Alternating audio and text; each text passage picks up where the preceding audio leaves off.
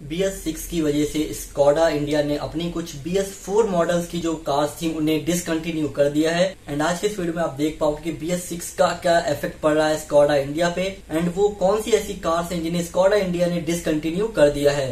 सो आज के इस वीडियो में आपको यही बताने वाला हूँ बी एस सिक्स की वजह से स्कॉडा इंडिया ने अपनी कौन सी ऐसी कार्स हैं जिन्हें डिसकंटिन्यू कर दिया है। सो इस वीडियो को लास्ट तक ज़रूर देखिएगा। अगर आपको पसंद आता है तो लाइक शेयर और चैनल को सब्सक्राइब करना मत भूलिएगा।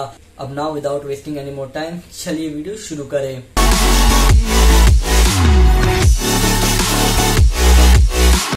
स्कॉडा इंडिया के पास कुछ ऐसी कार्स थी जिसमें बी एस फोर का यूज़ किया जा रहा था एंड सब आप सब जानते हो जो भी नई कार्स आ रही हैं, उनमें बी एस सिक्स का जो है यूज़ किया जा रहा है। बस उसी की वजह से जो बी एस सिक्स का जो इफ़ेक्ट पड़ा है स्कॉडा इंडिया पे, उसकी वजह से स्कॉडा इंडिया ने अपनी कुछ बी एस फोर वाली मॉडल्स वाली जो कार्स थी उन्हें हटा दिया है।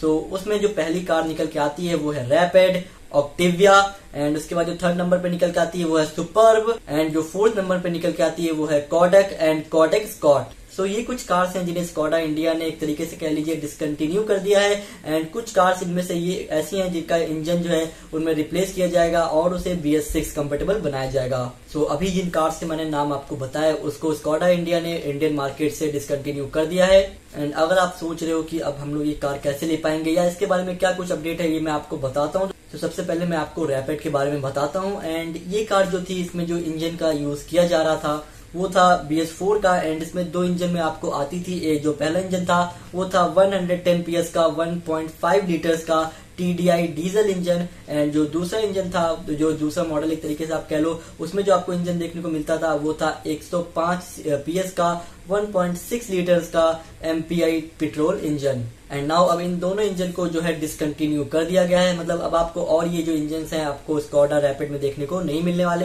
एंड नाउ इसकी जगह अब यूज़ किया जा रहा है स्कॉडा रैपिड में बी एस सिक्स का इंजन एंड वो जो इंजन है, वो है 110 पीएस का 1.0 लीटर्स का। TSI petrol engine. एंड अगर आप लेना चाहते हो स्कॉडा रैपिड तो उसकी बुकिंग जो है वो पहले से ही स्टार्ट है। आप जाके इसे बुक कर सकते हो। एंड नाउ नेक्स्ट कार जो निकल के आती है वो है ऑक्टेविया एंड जो एग्जिस्टिंग ऑक्टेविया थी, उसको जो है स्कॉडा इंडिया ने डिसकंटिन्यू कर दिया है। एंड एग्जिस्टिंग ऑक्टेविया में जो आपको इंजन देखने को मिलते थे, वो था 150 पीएस का 1.4 लीटर का टीएसआई पेट्रोल इंजन एंड एक और जो आपको इंजन देखने को मिलता था, वो था 140 पीएस का 2.0 लीटर्स का टीडीआई डीजल इंजन। एंड एक और इसमें आपको देखने को मिलता था, वो था 180 पीएस का 1.8 लीटर का टीएसआई पेट्रोल इंजन। सो ये जो इंजन थे, इन्हें आपको डिसकंटिन्यू कर दिया गया है। एंड कहा यह जा रहा है कि इसमें आपको नेक्स्ट जनरेशन ऑक्टिविया जो है, वो आपको शोरूम में आपको देखने को मिल जाएगी ट्वेंटी के एंड तक।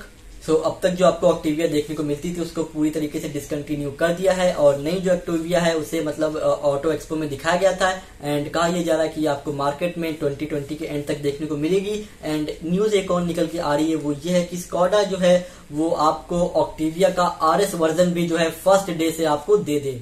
एंड नाउ अब हम लोग चलते हैं नेक्स्ट कार की तरफ़, जो स्कॉडा की तरफ़ से आती है, वो है सुपर्ब एंड इसमें जो आपको बी का जो पहले इंजन आपको देखने को मिलते थे, वो थे 180 पीएस का 1.8 लीटर का टीएसआई पेट्रोल इंजन एंड एक और जो आपको डीजल में देखने को मिलता था, वो था 177 पीएस का 2.0 लीटर्स का टीडीआई इंजन एंड ये न्यूज़ है कि इन दोनों इंजन को जो है अपग्रेड नहीं किया जाएगा बी एस सिक्स में. एंड इसकी जगह पे आपको देखने को मिलेगा सुपर का फेस लिफ्ट मॉडल एंड इस फेस लिफ्ट वाले मॉडल में आपको जो इंजन देखने को मिलेगा वो बिल्कुल नया इंजन होगा बी एस सिक्स वाला.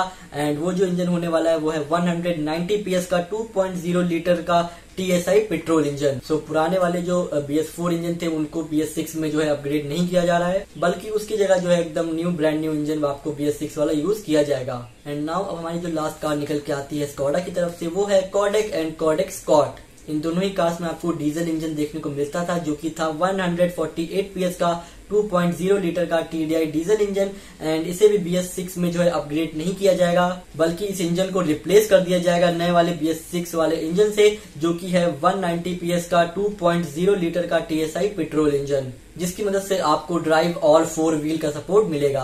so, पुराना इंजन जो इस्तेमाल किया जा रहा था कॉर्डेक एंड कॉर्डेक स्कॉट में उसको पूरी तरीके से डिसकंटिन्यू कर दिया गया है उसको अपग्रेड अपग्रेड नहीं किया जा रहा है। उसकी जगह पे आपको ब्रांड न्यू इंजन आपको देखने को मिलेगा जो कि पेट्रोल में आएगा। कॉर्डेक एंड कॉर्डेक स्कॉट में एंड कहा यह जा रहा है कि आपको कॉर्डेक एंड कॉर्डेक स्कॉट जो दोनों मॉडल्स हैं आपको 2020 के एंड तक आपको शोरूम में देखने को मिल जाएगा। सो so, ये था बी का इफ़ेक्ट जो स्कॉडा के कुछ कार्स पे पड़ा।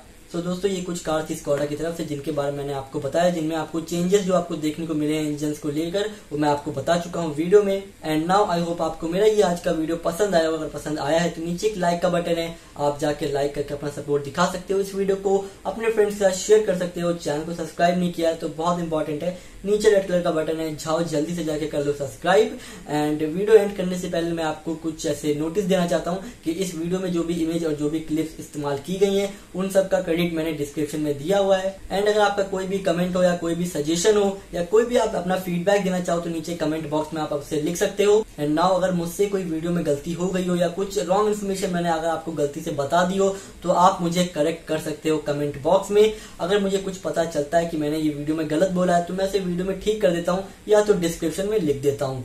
सो so, वीडियो को लीव करने से पहले एक बार डिस्क्रिप्शन चेक कर लिया करो गाइस एंड नाउ अब मैं मिलता हूँ आपको किसी और वीडियो में। तब तक के लिए bye bye and take care